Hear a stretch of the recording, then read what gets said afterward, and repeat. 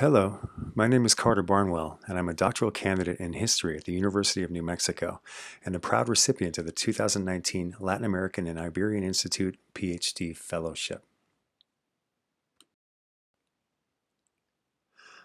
I was awarded the fellowship to conduct archival research to support the writing of my dissertation on transnational cultural transfers of Spanish anti fascism during the interwar era.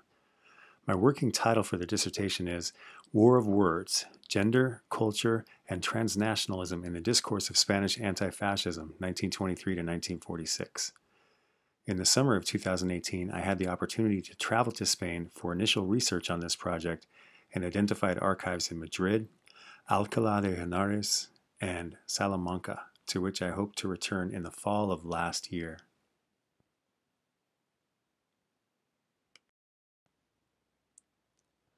Due to family health issues and now international travel restrictions, my trip to Spain has been delayed, and thus to date my research is focused on American sources and East Coast archives.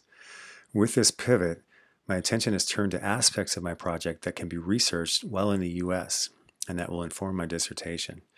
I've been focused on the agency of American volunteers in the Spanish Civil War in a time of increasing governmental structuring working primarily in the National Archives in Washington, D.C., and with the Abraham Lincoln Brigade Archives at NYU, the archives of the City College of New York, and at the Paley Center for Media in Manhattan. I have long been interested in some of the political, social, and cultural outcomes of World War I. I am convinced that these outcomes had a profound influence on Spain even as a non combatant in the Great War, and I look forward to fleshing this influence out further in the coming year. My research project on anti fascist discourse has been informed generally by a body of sociological theory which really initiated in the interwar era, as theorists began to revisit the concept of the nation state itself and to ask what it was and how it maintained control over its citizenry. In 1919, the German sociologist Max Weber declared that the state is an entity that maintains a monopoly on the legitimate use of violence within its boundaries, and that this was the principal way in which it maintains dominance over the governed.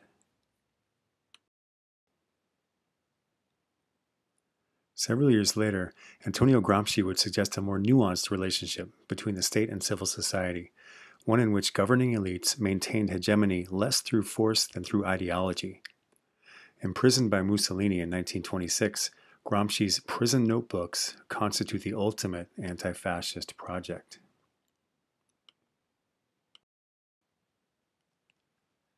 Expanding on Gramsci's work, Louis Althusser would much later distinguish between repressive and ideological state apparatuses, explaining that these entities work in tandem to manufacture the consent of the governed in the modern nation state.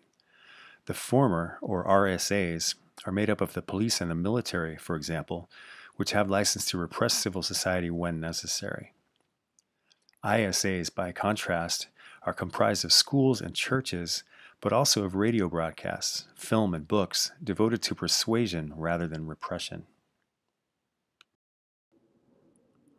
To prepare for my examination of the state and civil society in Spain, I have been focusing attention on the actions of government at local and national levels in the United States of the 1930s, and especially its treatment of American volunteers in the Spanish Civil War.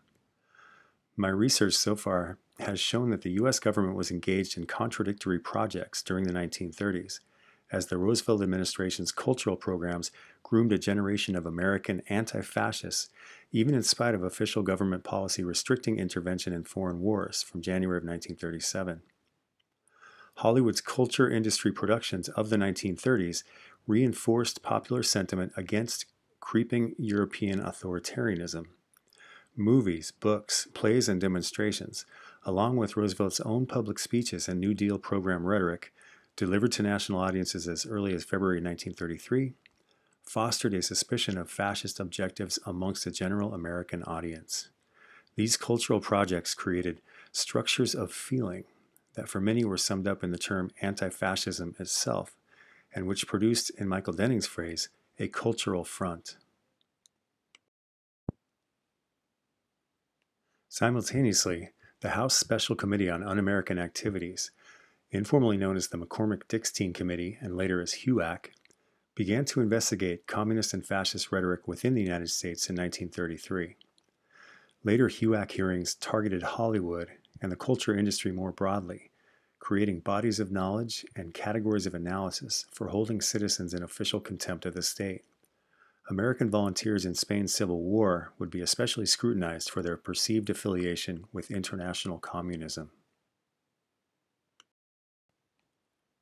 The committee's hearings and deliberations are rich with detail of how identifying internal enemies would become strictly a search for communist tendencies in the U.S., and how the term anti fascist would be reconstructed as communist. At the State Department, the new designation premature anti fascist would become code for suspected communist.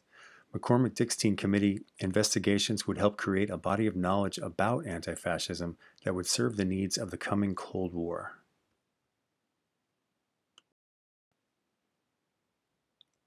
While also providing a template for constructing anti communist narratives that would be imitated by other Western governments. Such narratives would ultimately allow Spanish General Francisco Franco to be rehabilitated in the international community as the self described sentinel of the West against communism. Declared fascist by the United Nations in 1946, Franco would rebrand himself and his regime anti communist by the end of the decade. The Generalissimo's relief at this turn of events is evident here in his quite literal embrace of President Eisenhower in 1953. The McCormack Dickstein Committee's conclusions recommended more latitude for the state in dealing with its citizenry, including limiting freedom of speech to non subversive discourses in all cases. Interestingly, the committee adopted the term fifth columnist to describe the behavior of perceived subversives, making immediate use of a term that had just been coined in another context during the first year of the Spanish Civil War.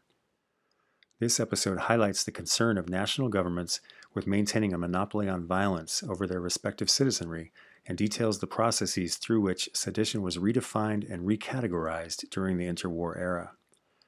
Similar processes would be used by Spanish nationalists to construct internal enemies during and after their uprising against the Republican government in 1936.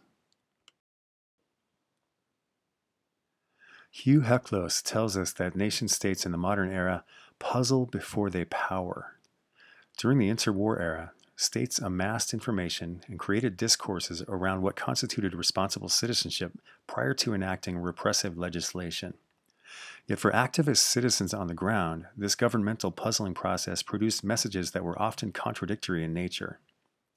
Many volunteers in the Spanish Civil War would be deemed premature anti fascists upon their return home, but did the state itself create these lawbreakers through its own anti fascist rhetoric? My current research addresses this possibility while exploring the impact of Spanish anti fascist discourse on American citizens. I'm extremely grateful to the Latin American and Iberian Institute of the University of New Mexico for supporting my project, and I look forward to sharing some conclusions with the LAII community in the months to come.